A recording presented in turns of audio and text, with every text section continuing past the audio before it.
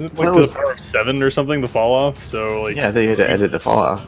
you might so wait, be, uh, you might be in a stable orbit for now, was- but there's was no the such thing as a stable Keen orbit. uh, with Keen gravity code that we couldn't get orbits? So It's You can. It's just the fall off is to the power of seven. the uh, it's almost impossible to get a stable orbit. You have to, you have to get it absolutely perfectly straight.